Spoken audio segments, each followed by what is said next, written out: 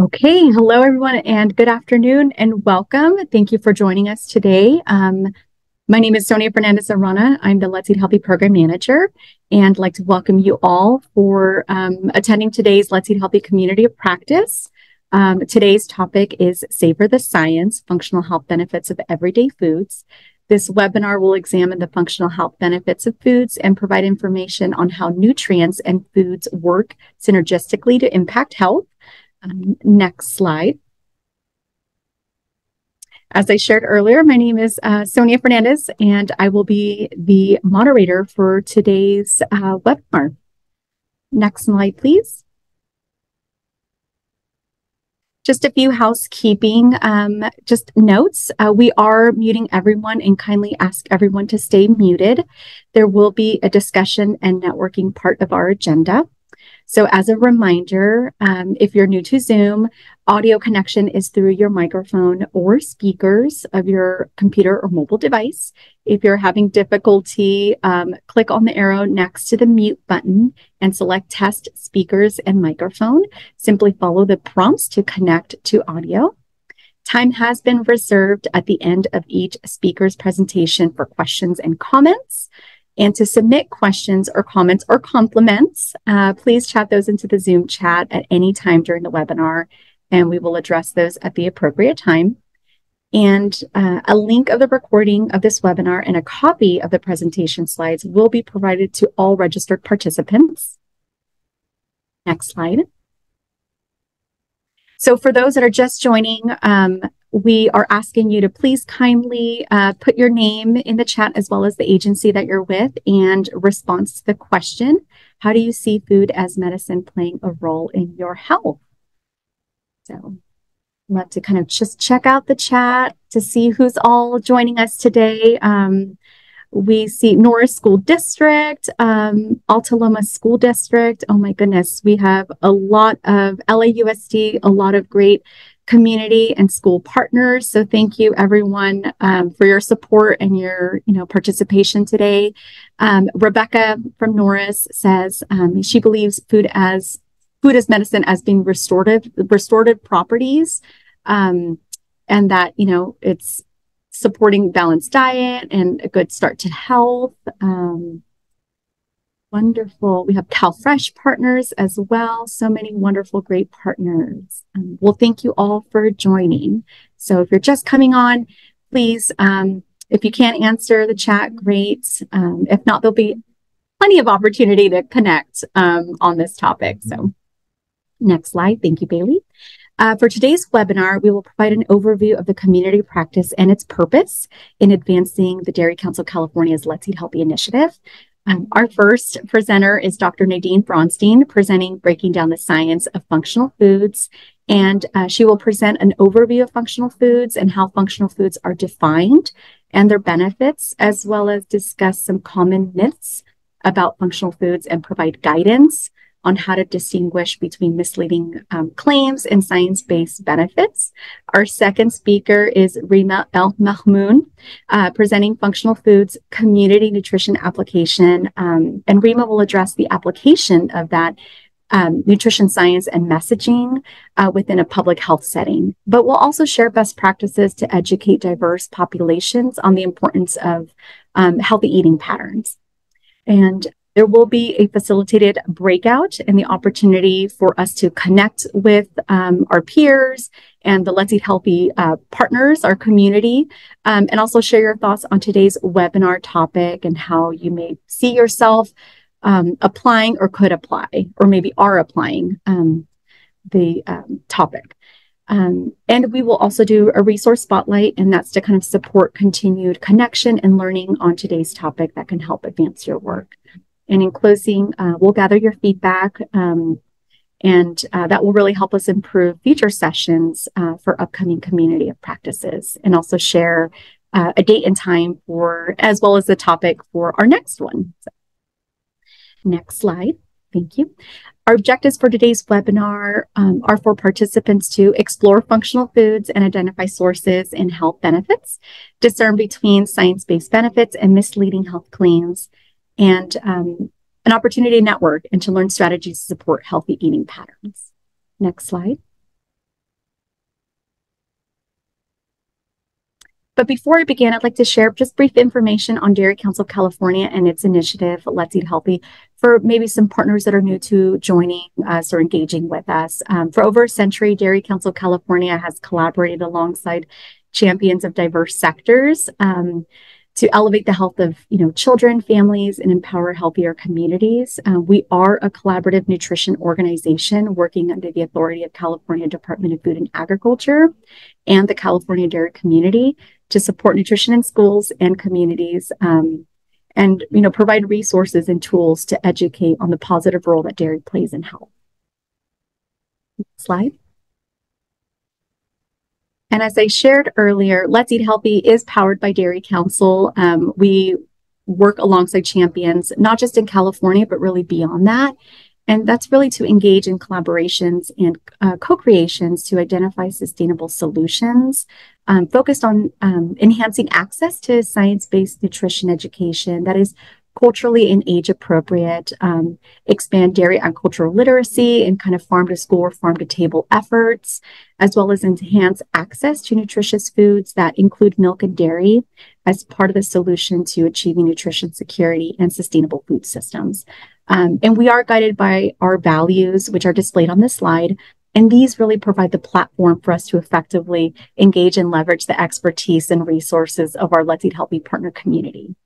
So for today's, you know, webinar, this really embarks um, the launch of Let's Eat Healthy's first community of practice. And the purpose is to provide our Let's Eat Healthy community a convening platform for partners like you to come together, network, share expertise, best practices, exchange ideas, all to strengthen really collective um, impact of our efforts in you know advancing the strategic goals of Let's Eat Healthy. And we are honored to collaborate with two incredible um, Let's Eat Healthy partners and champions um, for this inaugural launch. And they will provide their expertise on the topic, and we look forward to partnering with all of you to really help us support the vision of these community of practices moving forward. So. Thank you all for being here today. Uh, next slide. And without further ado, I would like to present our first speaker, Dr. Uh, Braunstein. Um, Dr. Braunstein is a registered dietitian and associate professor and dietetic internship director at Sacramento State University. As the 2013 2014 Robert Wood Johnson Foundation Health Policy Fellow, she supported the 2015 U.S. Dietary Guidelines Advisory Committee. In California, Dr. Braunstein has served in um, volunteer leadership roles and, and is currently the interim vice president of policy for the Cal- California Academy of Nutrition and Dietetics. At Sac State, Dr. Braunstein teaches classes across subject areas, including nutrition and wellness, nutrition education and counseling, life cycle nutrition, medical nutrition therapy, and nutrition policy. She received the 2023 Award for Excellence in Education from the California Academy of Nutrition and Dietetics. And Dr. Braunstein's presentation, Breaking Down the Science, will address research highlights and share an overview of the benefits of functional foods and how to differentiate um, between misleading health claims and uh, science based benefits. So, um, as a reminder, everyone will stay muted, um, but I would like to encourage you if you have questions for Dr. Braunstein, please enter those in the chat um, and we will address those uh, you know, at the end of her presentation. So welcome, Dr. Braunstein. Thank you everyone for coming. And I'm excited to be part of this, you know, new adventure that the Let's Eat Healthy is going to be embarking on. So thank you so much. Next slide, please. So I want uh, participants for you uh, to identify at least one food in each of the major food groups that are considered to be a functional food because they contain a bioactive compound that promotes health. You can distinguish between a probiotic and a prebiotic and can explain perhaps why a food matrix approach to understanding the benefits of foods is better than focusing on one individual nutrient. I realize, as Sonia's just uh, asked, mentioned, that I would be talking about the health claims. I don't have specific uh, slides in here, but I definitely can talk about that um, at the end as well about distinguishing between the health claims that are okay and not. That's all depends. Okay. So the next slide, please, Bailey. So we, we're going to be having a few polls. And I think that in the beginning of a, uh, a webinar like this or any class that you teach, who's here? And just check one um, so we can get a sense of who's in the audience today. Thanks for participating. Sometimes you need to kind of get warmed up and at least we want we want to engage you and make it more active than passive. Okay, so we have a lot of community nutrition professionals, some K to 12, and some other. So if you didn't feel that you were uh, you were represented, if you you've already been doing a great job of putting in the uh, chat what uh, what you represent, and so feel free to add that in there too. So thanks so much. Uh, the next slide. I have three three polls questions right in the beginning. How would you rate your your knowledge of functional foods? I have expert knowledge. I know a lot. I know a little. It's all new to me and I'd like to know more. Thank you. So we have some who have experts, a lot uh, knowing a little bit about it, a little bit new. So great. We have sort of a nice bell-shaped curve of, of knowledge. Thank you so much. And I have one last question to get you warmed up to the topic. This poll allows you to choose more than one. And so choose three foods that you happen to like. It's kind of nice to think about as a dietitian dietitians have a, a bad reputation of telling people what they should not eat. And I always really like to help people think about the foods that they can eat more and more frequently. A lot of berries, oats, yogurt, salmon, yum. Well, you are you are going to be very happy to know that all of these foods are considered functional foods. So just keep enjoying them and then we're going to get into some of the science now. So the FDA does not have a legal definition, a definition that they go by that for functional food.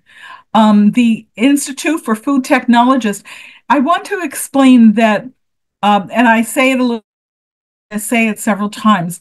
I'm going to be focusing today about food, not food additives, um, because as food technology people, they have their definition because they're trying to create foods and add uh, these components that make them would make them more healthy.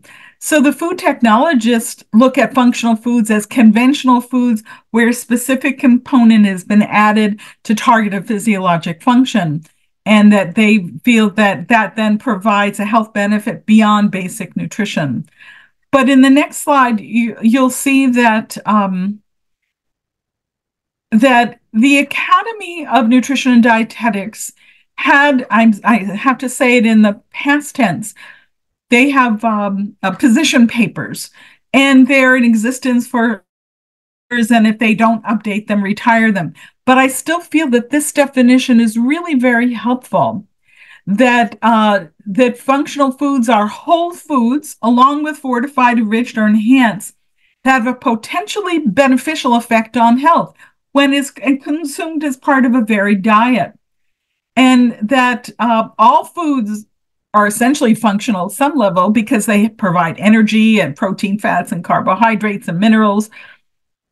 But um, that some food components that are not exactly considered nutrients in the traditional sense, that um, we'll see that another term that is used is called bioactives, that uh, they contain some of these components, and that's where they're called functional foods. So, kind of keep in mind that um, that the food technology they may call they may call the functional foods that they're creating nutraceuticals but i'm really i want us as food professionals to be thinking about foods so that's where i'm directing my focus today next slide please and these are some of the things that these functional foods, these components in the foods we eat, can do to help keep us healthy. They can lower cholesterol and triglycerides. They promote heart health, reduce blood pressure, reduce types of cancers, promote immune function and gut health. So there are many ways that the foods that we eat can help keep us healthy. Next. So some of the compounds, bioactive compounds, are prebiotics and probiotics and polyphenols and beta glucan fiber and flavonoids, allicin, quercetin, phytosterols, lycopene, omega 3 fatty acids. And once again, this isn't every single bioactive compound, but these are some that you might hear of, you might um, you might think of when you're um, you know especially if you're going to be doing uh, doing some community education or sometimes people kind of raise their hand because i've uh, this has happened to me many times people say well what is that compound? What does it do? You know can you give me a name? Because some people are really eager to go read and you know with our with our phones as computers we can learn a lot. So these are some words you might you might see. I'd like to define, and this is one of my objectives of the presentation. We hear the term probiotics and prebiotics. And I want you to be able to discern the difference. And these, these definitions come from the Office of Dietary Supplements at NIH, and they have some good, uh, good fact sheets. There are fact sheets for consumers that I want you to be aware of, and also for health professionals. And so take advantage of the uh, materials that they have.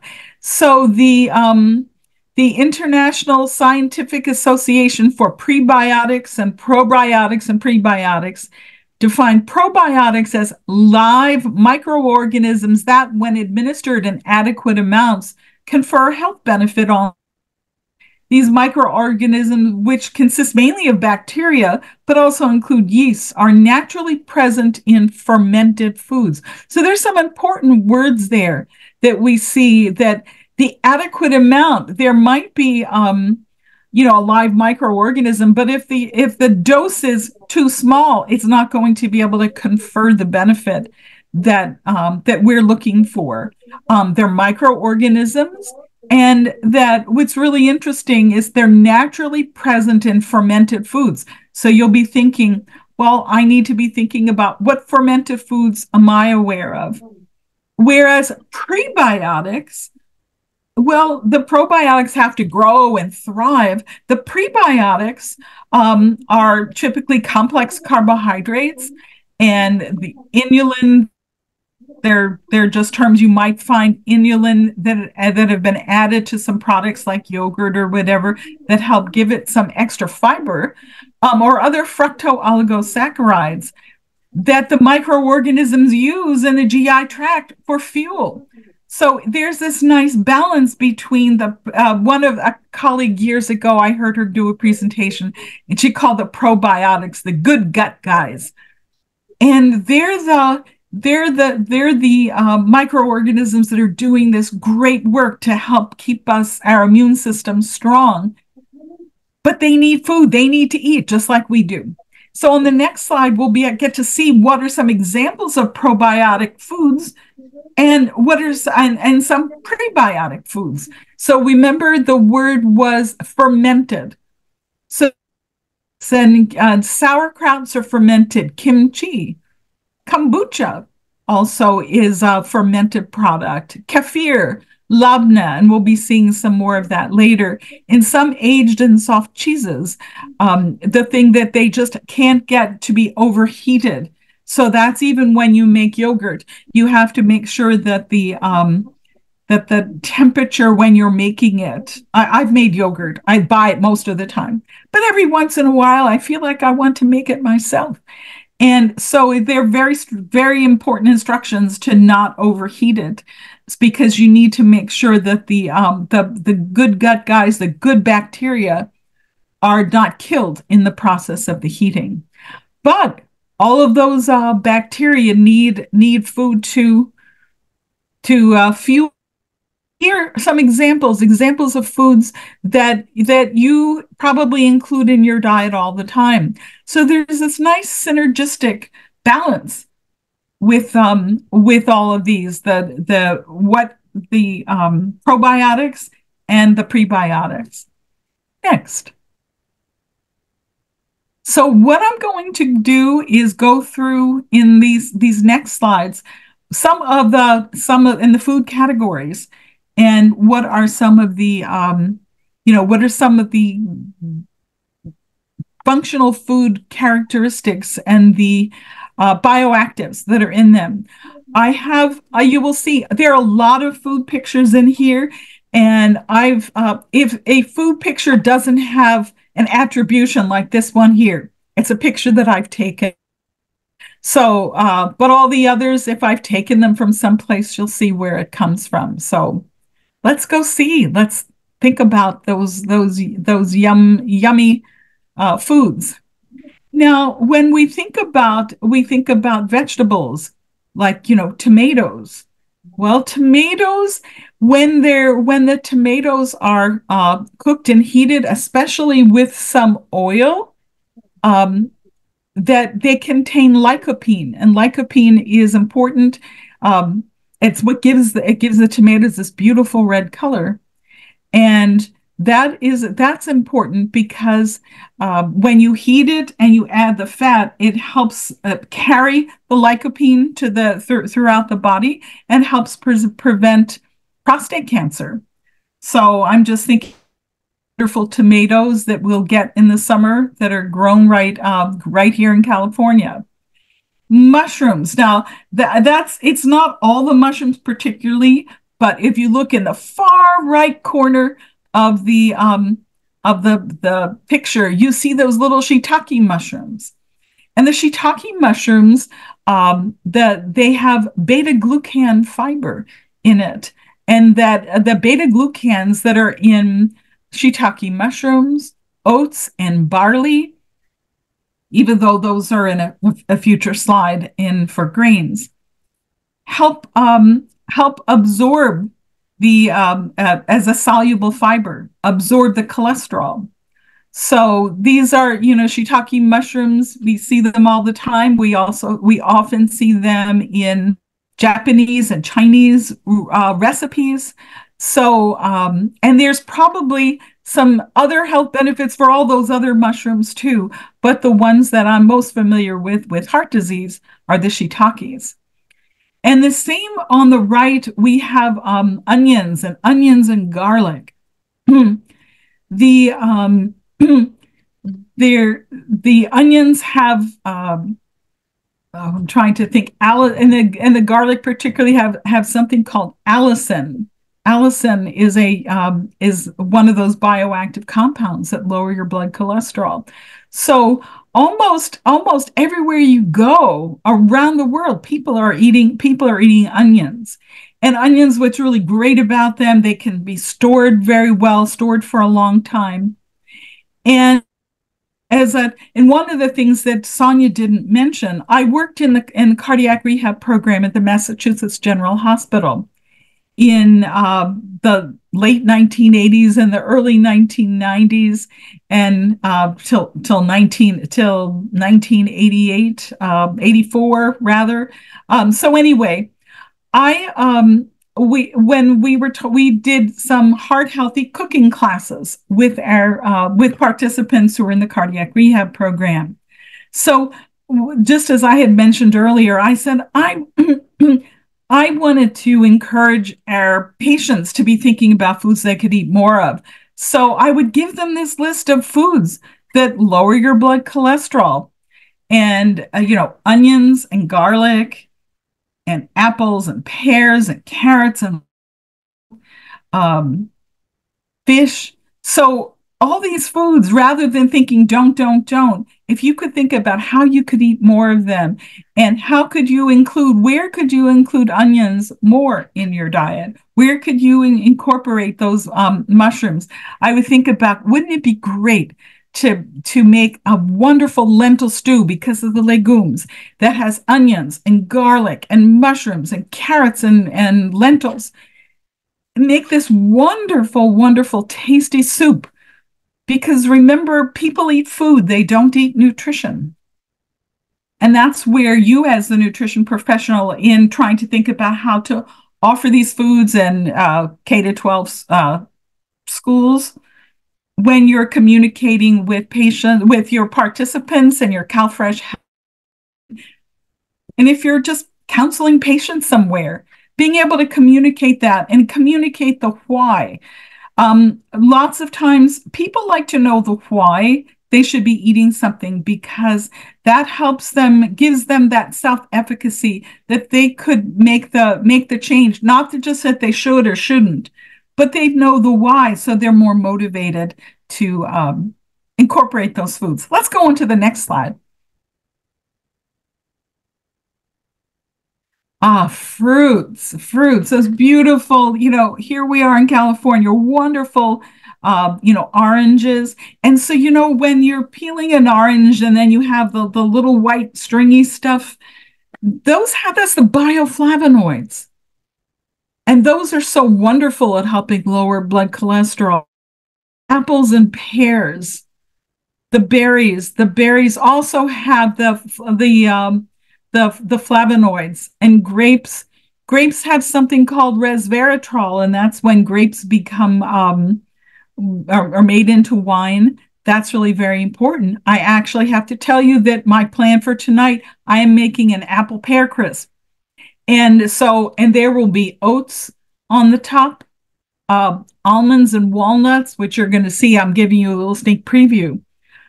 But these are ways that you can incorporate these foods um, into everything that you eat. Let's go on to the next one. Dairy. And I wanted to show the, I have eaten this kind of Indian style yogurt, and it's really fun to try different kinds of yogurts. They're slightly different. And notice in the ingredient list, this says contains six live active probiotic cultures, and it's telling you which ones that they are. And so that I think is really very helpful in educating and educating your patients, your participants, your family, your neighbors, the kids. I had mentioned earlier that I have made my own yogurt in the upper left hand corner as an example of that. You know, you can also use if you have a dehydrator. The dehydrator that I has have has a um, yogurt setting that will keep the temperature steady. You don't need to do that at all. You can just make it in your in your oven that's warm. Labneh is kind of like yogurt. It's wonderful. It's a, a Middle Eastern. Um, it's used in Middle Eastern cuisine. Um, and the below that is an aged cheese. Not all aged cheeses or all soft cheeses have probiotics in them but some do if they're not if they're not overheated so swiss is an example on the top right hand uh, in the slide is kefir kefir is like a like a liquid yogurt drink that has these live and active cultures in it. It sometimes has a little tang to it. And so um, those would be the, that may be something that you want to you know consider. And sometimes when we're thinking and and rema will talk about this about ways to be culturally appropriate, incorporating foods and having food pictures of brands or things that um, that you're going to that you have. And then on the right is um, some cottage cheese. So let's go on to the next.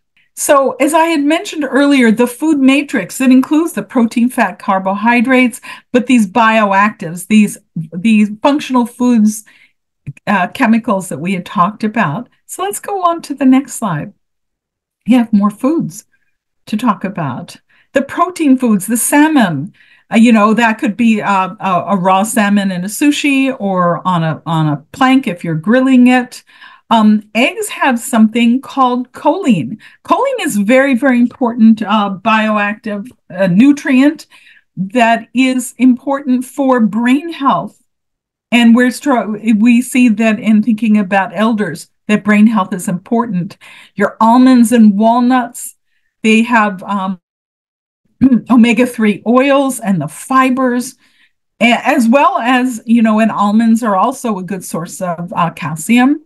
Your beans and your legumes. So there are ways that you can find foods in all the food groups. Next. And in grains, Um, I had the chance to go to the Bob's Bob's Red Mill uh, factory up in Oregon, and so there are different kinds of greens that have different fibers. In the left hand, uh, the left hand bottom oats. I had mentioned that earlier, and making an apple pear crisp with oats on the top. Or in the the middle there is an overnight oats that you could then incorporate some of the berries and the other foods that are um, that have the the functional food char- characteristic.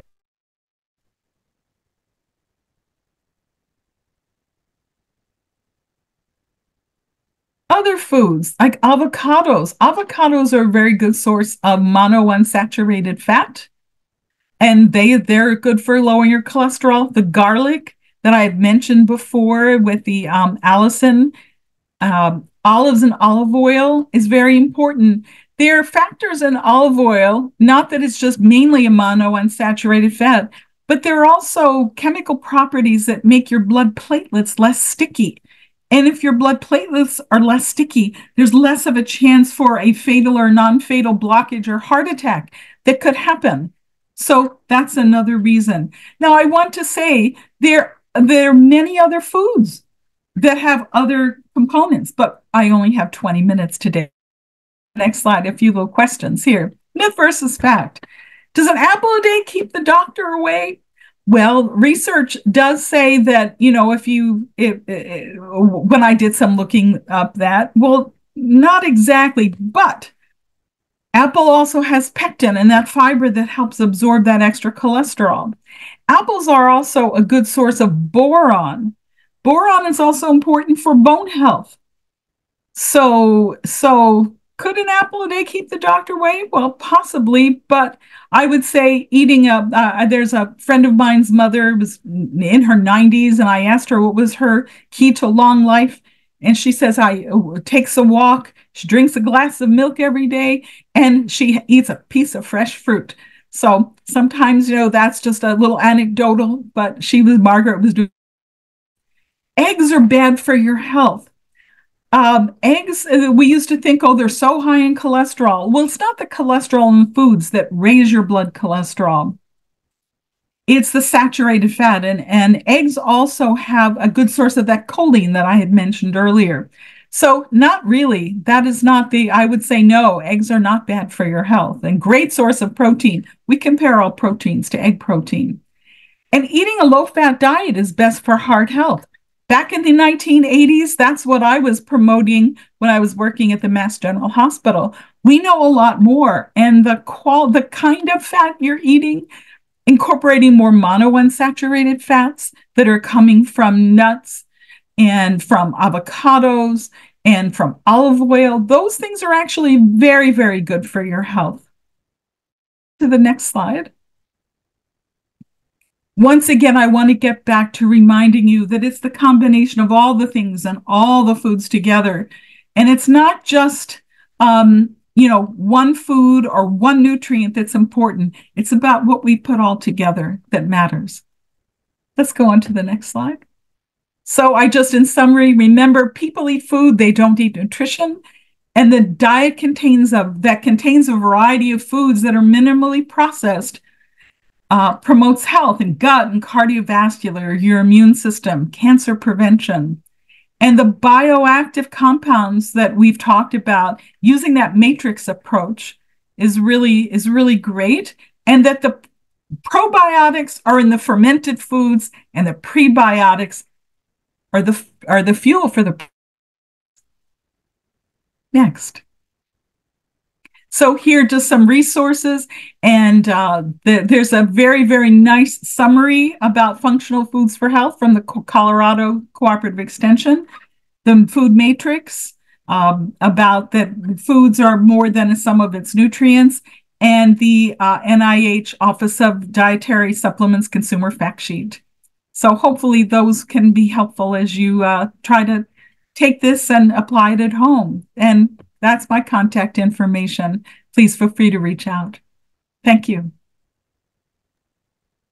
Thank you, Dr. Braunstein, for sharing valuable information with us and, you know, providing a foundation for understanding functional foods and just, you know, the nutritional outcomes and benefits. Um, just in the interest of time, we will address questions for both speakers um, at the end after they have, um, you know, each presented. So next slide, please. Thank you. Um, our next speaker is Rema El. Um, Rema is a registered dietitian nutritionist and the CalFresh Healthy Living Project Director for the Cal for the California Department of Public Health, Nutrition Education, Obesity Prevention branch known as NEOP with Solano County uh, Public Health. As a project director, Rema coordinates um, efforts between state and local level community partners who promote healthy um, eating and active living to low income residents through um, advocacy, environmental change, collaboration, resource sharing, and education.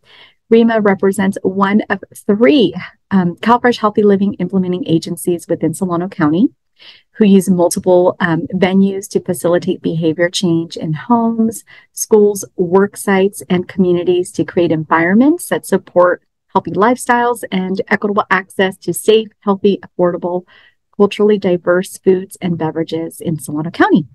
Uh, now I'd like to welcome Rema. Thank you, Sonia, and thank you, Dairy Council, for inviting me today. Um, I am just going to go ahead and jump in. So I'm going to be talking about the community nutrition application, about functional foods. Um, next slide. So I just wanted to start by acknowledging the different roles of dietitians here in our Health and Social Services Department. So we have in the clinical sphere dietitians that provide outpatient one-on-one nutrition counseling, i.e. the medical nutrition therapy to our family health and behavioral health patients. We also have our WIC dietitians who work with low income or income eligible pregnant, breastfeeding and non-breastfeeding women and children under the age of five and finally, um, CalFresh Healthy Living dietitians. We work in the community with um, income eligible populations in various settings and provide nutrition education and physical activity promotion. Next slide. So, one of the most important aspects when working with any group of people really is understanding your audience. So, when you understand your audience um, and what their needs are, it ensures that the message we're providing is relevant and reasonable and feasible to their lifestyle. So, um, on this slide here, I listed not all, but some of the more important, considerations that we often um, take into account when working with our populations. So first, socioeconomic status in the public health department, we're working with low income families. So being very conscious um, of providing nutrition education and recommendations while recognizing budgetary constraints is very important um, also to the socioeconomic status. Um, we it involves more than just budget, so we have to consider things like food access. Um, for example, do they live in a food desert? Um, transportation barriers and other limiting environmental factors. Um, in terms of how are you getting the message across? So it's our job to translate nutrition science into messaging that's e- easily digested. Um, so we want to make sure that we are conscious of the literacy levels of our audience um, in terms of language barriers, making sure we have resources available in multiple languages um, whenever possible, having bilingual or multilingual um, staff or translation services. This helps us provide equitable access um, for all our participants. And um, Dr. Braunstein alluded to earlier, one of the ways we could make sure we're addressing these things is by using pictures, right? If our um, language barriers is an issue, pictures is really a good way to get the message across. Um, we also work with diverse populations. Um, so, looking into the cultural competency versus cultural humility aspects, um, not only is it important for us to be familiar with different cultures and practices and their traditions, um, cultural competency is often content oriented. So, it's created for a group of people. However, it's important not to box people into one category because of their cultural background. So we also need to value people's individual experiences and desires. And finally, trauma informed nutrition education. I'm sure many of us are familiar with this, but it's where we recognize the impact of trauma and adverse life and food related experiences, um, the dietary behaviors and health impacts that result from these adversaries, adverse, oh, couldn't speak, and how to address them in an educational setting. And I have provided a handout um, in the resource section that really um, gives you good ideas and tips on how to um, take that approach when providing nutrition education. So next slide. Um, since I worked in or work in the CalFresh Healthy Living program, I'll be speaking from this perspective and my experiences. Um, CalFresh Healthy Living is known as SNAP Ed. Um, and as I mentioned earlier, we provide community nutrition education. We use evidence based curriculums to deliver direct education to our eligible populations. And we also work with state and community entities to create policy systems and environmental changes um, to help transform communities by increasing access to healthy food, promoting healthy dietary choices, and expanding opportunities for physical activity. Next slide. So the education that we provide is informed by the dietary guidelines for Americans. Um, the dietary guidelines, if you don't know, they're updated every five years and they're grounded in robust scientific reviews on the current body of evidence and um, they help provide key nutrition and health topics for each stage of life. Next slide. All right, so the entire DGAs is a little over 150 pages, but it can be summarized into these four simple steps. Um, so first, to follow a healthy dietary pattern at every life stage. Second, customize and enjoy nutrient-dense food and beverages um, that reflect your personal preferences, cultural traditions, and your budget. And third, um, meeting food group needs with nutrient dense foods and beverages. And lastly, to limit foods and beverages that are higher in added sugars, saturated fat, and sodium, and limit alcoholic beverages. Um, since the DGAs are developed and written for a professional audience, um, like I said earlier, it's our job to translate the science. So we need to translate this information into actionable consumer messages and resources to help individuals and families. Um, My Plate is one example of a consumer translation. So it was created um, to be used in various settings and adaptable to meeting personal preferences, cultural foodways, traditions, and budget needs. All right, next slide. So I have a quick poll here based on the information um, you all have learned so far in this presentation and Dr. Braunstein's. Um, have you incorporated information on functional foods into your nutrition education? All right, so 65% yes. It's a little not sure. So this is where um, we're really going to talk about next how it all ties into each other. So next slide, Bailey, please. So going back to functional foods um, and what we know, so while there isn't a legal FDA definition, we've established that these are foods that are considered to have a more enhanced nutrition profile. They help promote growth and development. They can protect against disease and are mostly minimally processed foods.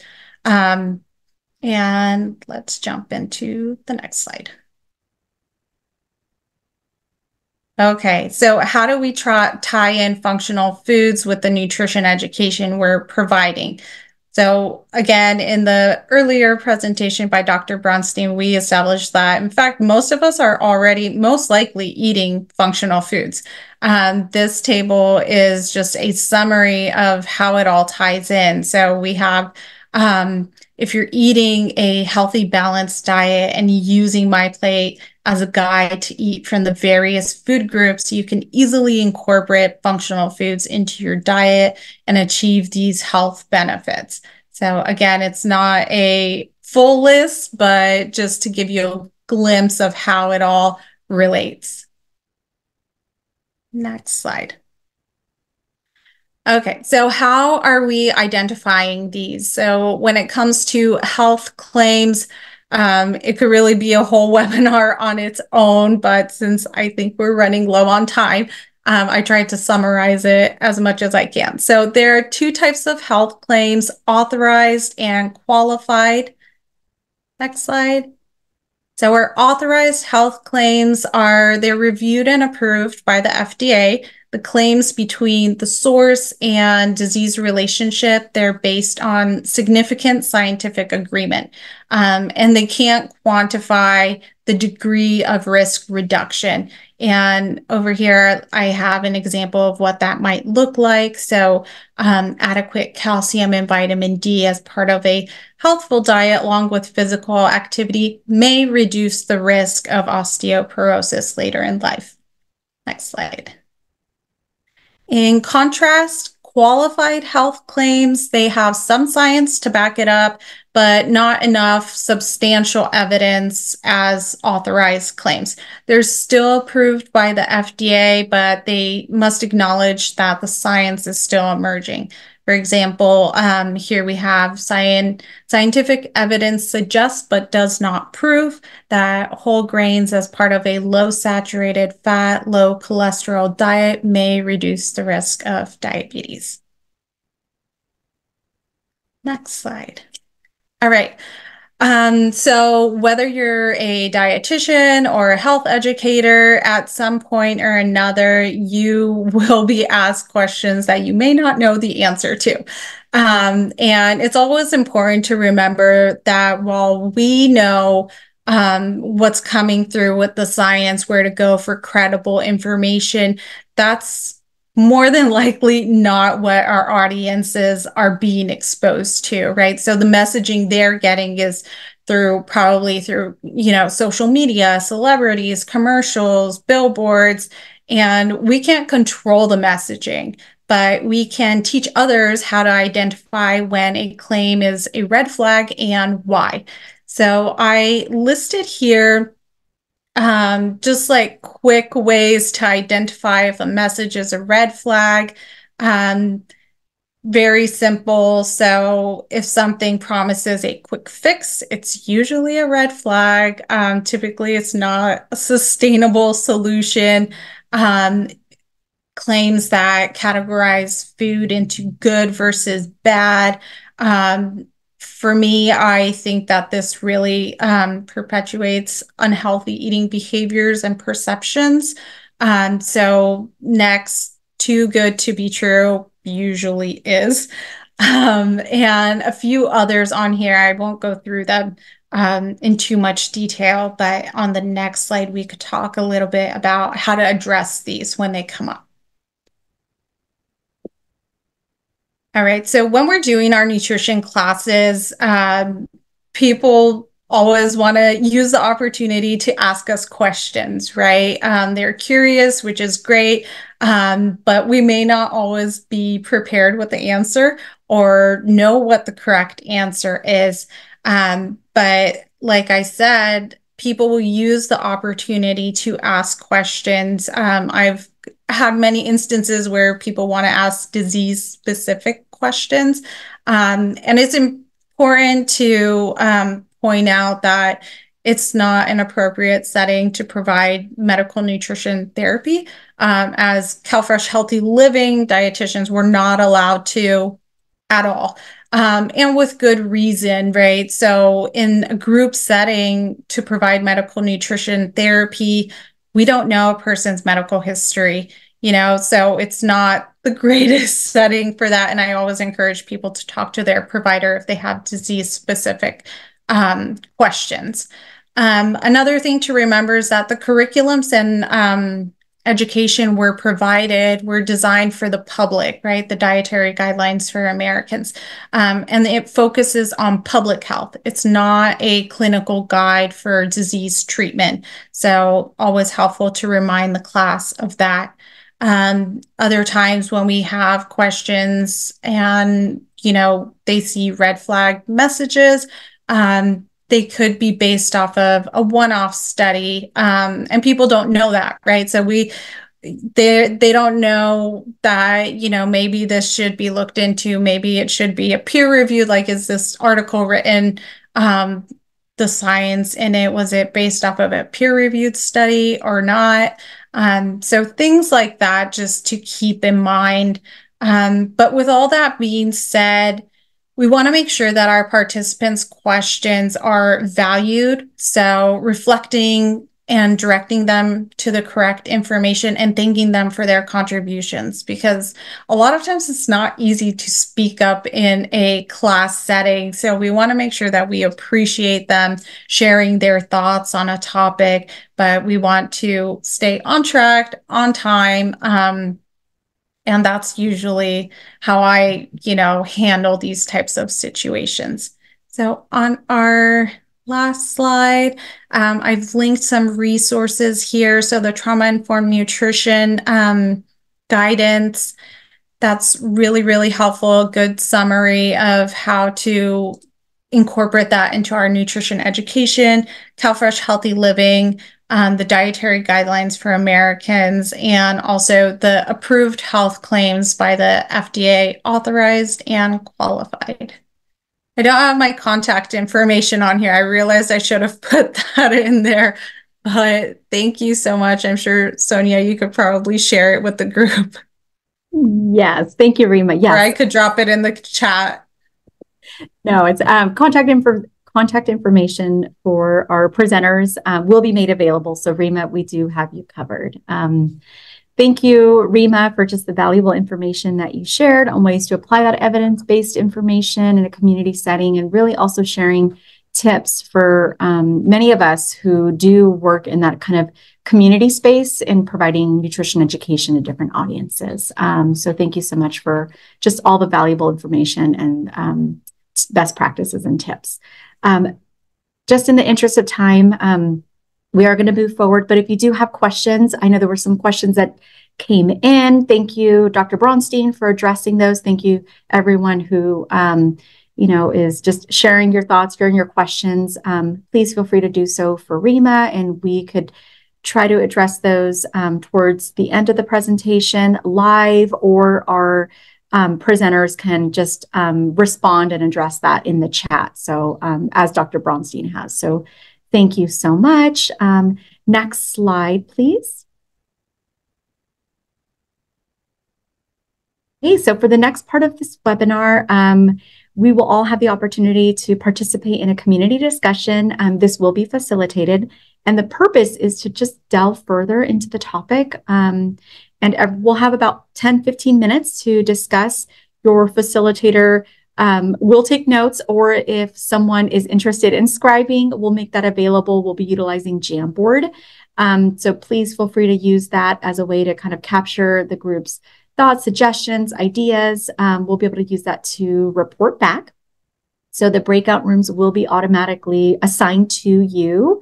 And as um, you kind of just go into your breakout room, please consider, you know, how do you currently incorporate or plan to incorporate benefits and functional foods in your work? Um, next slide, please. Uh, but I would rem be remiss if um, I just didn't um, just recognize a very special partner who's with us today. So before we go into our breakout rooms, I'd like to just you know share we're really Delighted to collaborate with Cesar Souza, uh, who's a registered dietitian for um, Altamed. He's a clinical nutrition manager, as well as a recipient of the 2023 Let's Eat Healthy Leadership Award. Um, Cesar will be supporting us with facilitating a breakout room. He is, uh, you know, he's a clinician. Um, he's work. He works with very diverse audiences across the Los Angeles County area, but he also has um, you know, a cultural inclusivity lens that he brings when he's engaging and educating um, patients. And that really adds tremendous value to today's conversation. So thank you, Cesar, for sharing your insight with us. Um, and in addition to Cesar, I'd like to thank our Dairy Council of California team, who will also be supporting with facilitating. And uh, we will now go into our breakout rooms. Hello, everyone. Welcome back. Um, hopefully, everyone enjoyed their um, just you know discussion and had a great opportunity to connect um, with you know some new people. Um, so now we would like to take the time to hear some highlights from um, just our discussion. We'll go ahead and start with room one. Um, so if you can please share one or two takeaways that were identified from your group, that would be great. It could be any any any question that was um, uh, I, I i took some notes and uh i had uh julie and jessica and um they said well one of the things that came out in a, a different conversation is make the learning fun.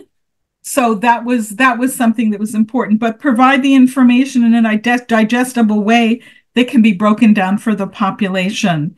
Um, and people found it interesting to learn more so those are some of the things that I notes I took. Nice, wonderful. Um, um, room number two. Thank you, Dr. Braunstein. Yeah, so in room number two, um, one of the useful um, pieces of information that was shared was um, Dr. Braunstein's approach, um, focusing on what we can eat versus what we can't. Um, another thing that came up was functional foods are a lot more common than we think.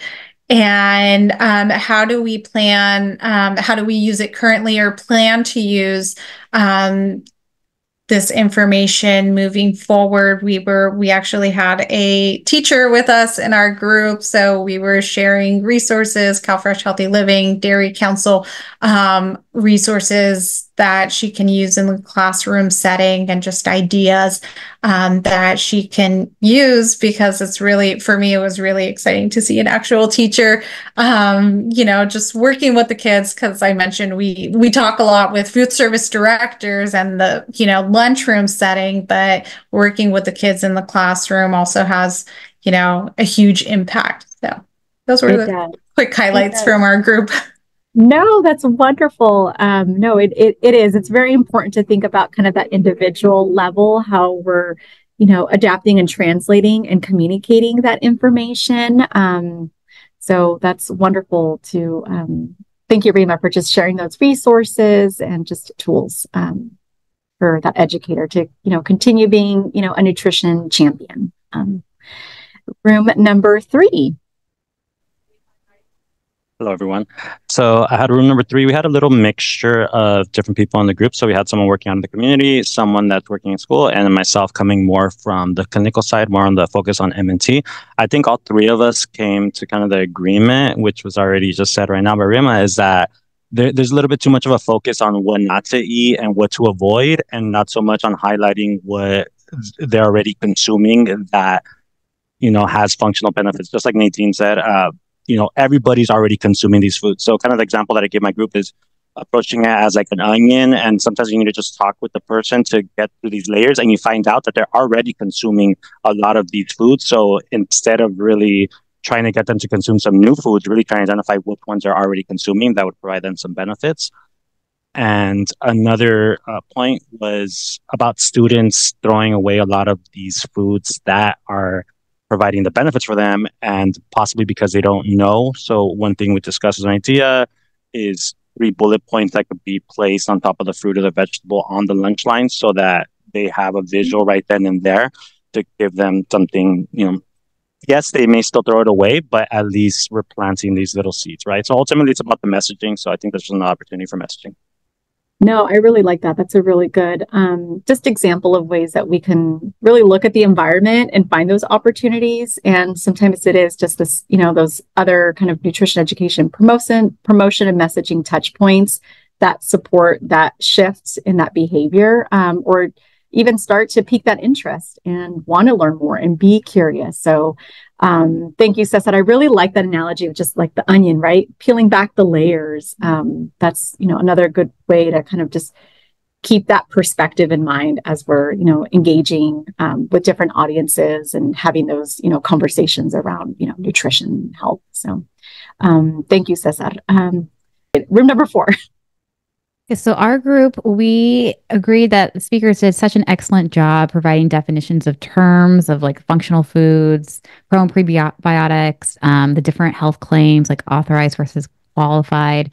So thank you so much. And we discussed how this information can be utilized in the community, how the community would be really receptive to learning more information about functional foods, both adults and children. And we love how Dr. Braunstein said people eat food, they don't eat nutrition. Um, and we also would love Dr. Braunstein's uh, recipe for her apple pear crisp because that sounds really good.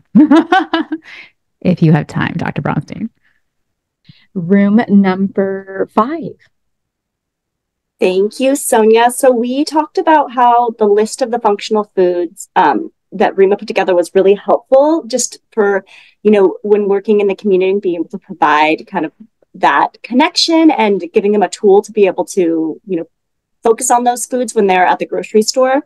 Um, and then also working in the community community education space. Oftentimes, you know, individuals are interested in learning more, um, and that and so there is the opportunity to take to kind of incorporate some education on the functional health benefits because all food groups have functional um, health benefits. And then working in the WIC environment, um, the nutrition education is required. So there's the opportunity to connect some of these functional foods to the redeemable foods um, offered in the WIC package. And then lastly, just um, utilizing kind of more culturally um, relevant my plates. And Kaiser has some of these um, just for different populations and also making that connection to these unique um, foods that different cultures incorporate on their my plate to the functional health benefits a really great resource. Um, something for you know us to kind of keep in mind, especially if we're trying to kind of just be cognizant of the different audiences um, that we're you know serving and providing education. It's important to keep that um, diversity, equity, and inclusion lens. So. Um, thank you, Bessie, um, for sharing that um, and those takeaways.